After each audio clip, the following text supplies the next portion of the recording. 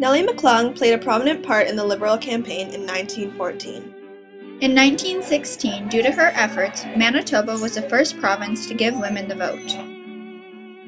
Nellie was one of five women who fought for and won the right for women in Canada to be recognized as people in the BNA Act. Her concern for less fortunate women grew out of deep religious beliefs and devotion to her family. In 1912, Nellie and a few Manitoba women formed the Political Equality League to improve women's working conditions.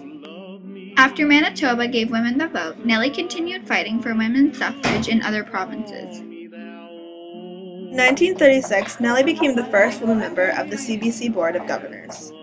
Nellie McClung was greatly involved with the promotion of temperance. Once Nellie moved to Alberta, they too gave women the right to vote. In 1921, Nellie was elected to the Alberta Legislative. Nellie McClung fought for equal pay for women in the Second World War.